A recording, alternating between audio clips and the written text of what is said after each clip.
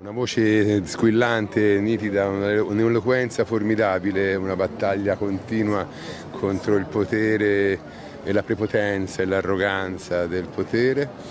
In queste circostanze fare ricordi personali sembra un po' di cattivo gusto, però insomma ho avuto il piacere di conoscere la, la, la ragazza sarda appena sbarcata, anzi proprio che non era ancora sbarcata perché aveva scritto un blog che mi aveva molto colpito ed è stata una fortuna avere l'occasione, avere l'occasione di conoscere questa ragazza dal talento così puro, così selvaggio, così indomabile.